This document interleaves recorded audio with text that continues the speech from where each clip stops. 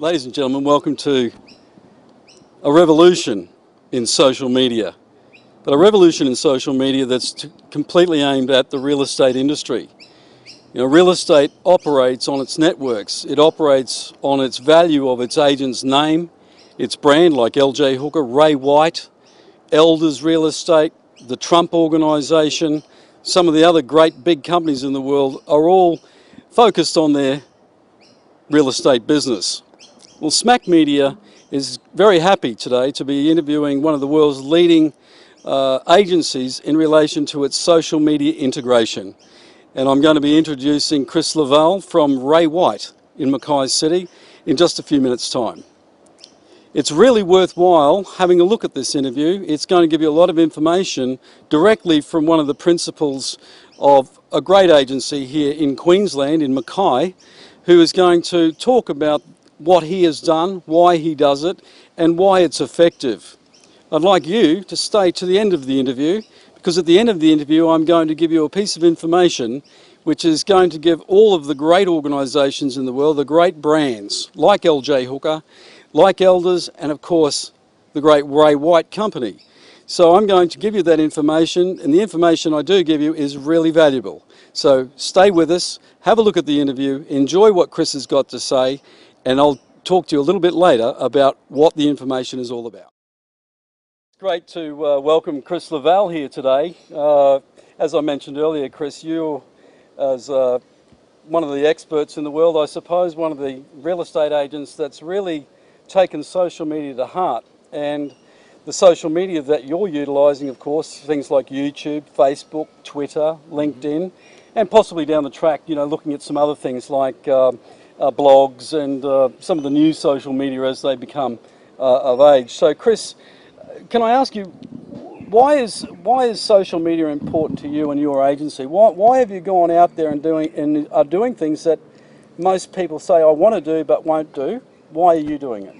Well, I'm doing it because we, we get bombarded every day by information throughout all different medias.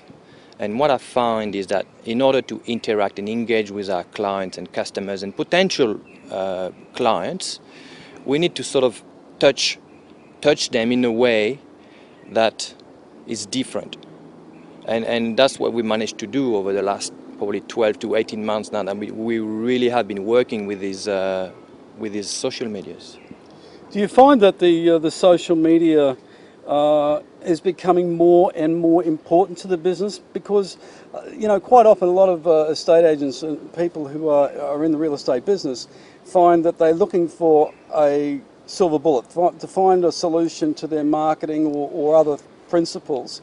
It doesn't happen that way in social media, does it? It takes time. It, it doesn't happen that way. We don't. Most real estate agents will go after the sell. They'll do whatever it takes to go and get a sale today. As we're taking a different approach, we want to engage with clients that may not be looking to do any transactions in real estate, but hopefully build a relationship with them so at some point in time they'd want to come and engage with us to uh, deal with real estate. And I, and I get from that point of view, it's a lot easier to deal with a client that wants to deal with you as opposed to a client that wants to deal with everyone. So the old adage of the, the networks working for the real estate agencies is, is gone to another level. I mean, you're actually trying to engage with people, in fact, even a year or two years away from when they're actually going to make a purchase. Yes, absolutely. It's uh, I will call it fishing upstream. That's the way we look at the we look at it. Uh, instead of uh, going to the point where everybody else is is hunting for business, we simply don't look it that way. We look at you know, one to two years from now, these clients will become uh, client for life by interacting with us on a regular basis, picking information that they want, not us feeding them information that we want them to have, but more information that they can access when they want it. And I believe that's the way to build a relationship these days.